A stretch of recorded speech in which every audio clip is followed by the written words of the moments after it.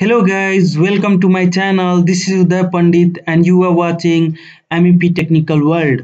If you guys are not yet subscribed my channel, I request you to please subscribe my channel and hit the bell icon so you will get notification regarding my upcoming videos. In this video, we will talk about classification of electrical load according to power system and phases. In previous video I have discussed about resistive, inductive and capacitive load. So I recommend you to please watch this video and I have given the link for this video in description box. Now let's discuss the classification of electrical loads. So classification of electrical loads on the basis of nature, power system and phase. According to nature, we have already discussed in previous video, which is resistive load, inductive load and capacitive load. Now come to power system. So classification of electrical load according to the power system.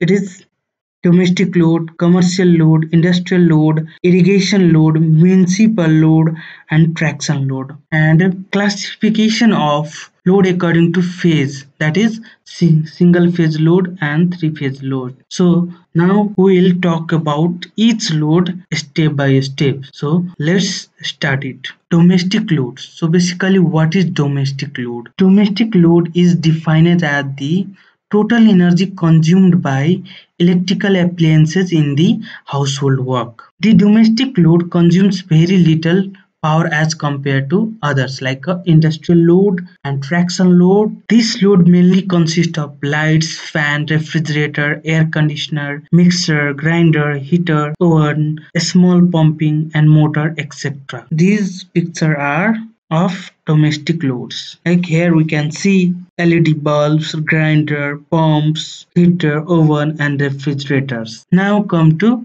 next which is commercial load. So commercial load consists of electrical loads that are meant to be used commercially such as in restaurants, shop, malls, hotels, hospital building, advertisement, etc. So Commercial loads occurs for more hours during the day as compared to the domestic load. Lighting, HVAC system including chiller, FCU, AHU, VRF, firefighting pumps. These are the example of commercial load. As we can see over here in the picture, this is the lighting of commercial mall which we can see over here. This one is HVAC system it includes chiller, FCU, AHU, VRF. So compressor and primary pumps and secondary pumps are the major load. Now come to another picture which is firefighting systems. Here we have a jockey pump, hydrant pump, sprinkler pump are the example of commercial loads. Now come to another load which is industrial load.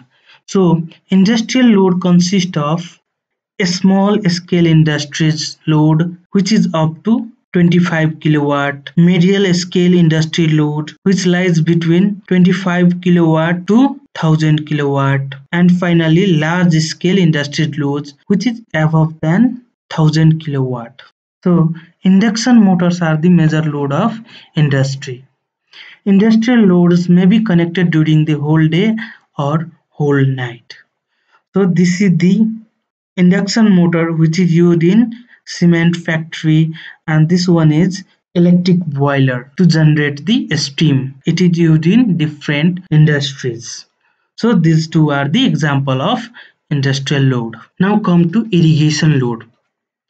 So generally motors and pumps used in irrigation system to supply the water to the agriculture field to do the farming.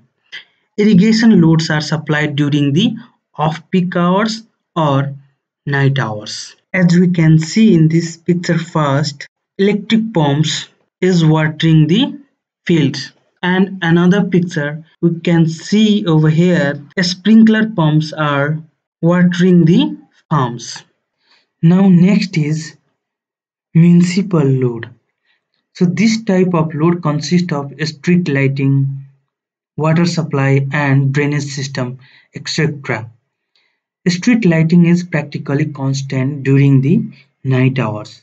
Water may be pumped to overhead storage tank during the off-peak hours to improve the load factor of the system. In the first picture, a street light is on during the night both side of the municipal road as we can see in this picture. In second picture, hydropneumatic or booster pumps are used in municipal water treatment plant which helps to distribute the water in the municipal houses. And third one is STP pumps which is used in sewage treatment plant. So these are the examples of municipal loads. Now come to traction load. So electric railways, tram cars, trolley buses are the traction loads. This one is electric rail, second one is trolley bus and third one is tram car. So this is the pantograph as we can see in all picture here above the railway, trolley bus and tram car. Now I am going to discuss how it works. So actually power transmitted with the help of pantograph which is contact with overhead contact wire 25 kV line in case of electric railway. Again this voltage is stepped down with the help of transformer and AC power is converted to DC with the help of rectifier and DC power fed to DC motor hence it operate. Then this motor can drive the electric railways. This working principle also apply to trolley buses, tram car. Now come to single phase load. So the load which is operated through the single phase that is two wire system one is phase and second one is neutral is called single phase load and operating voltage of single phase load is 220 volt and 110 volt. This volts depends upon the country. Most of domestic loads are single phase power operated.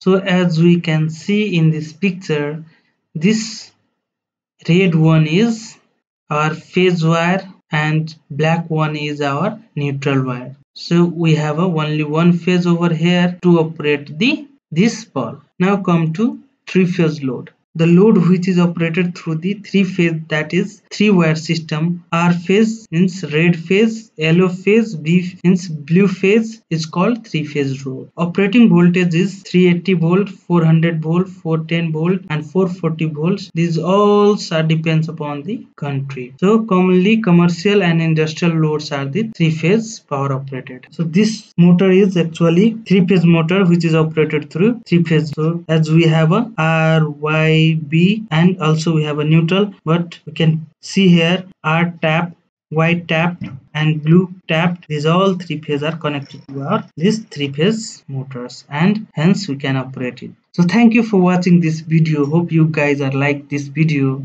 Please like share and subscribe my channel and also hit the bell icon so you will get the notification regarding my upcoming videos related to electrical plumbing HVAC as well as AutoCAD drafting. Thank you. Thank you very much. See you again in next video.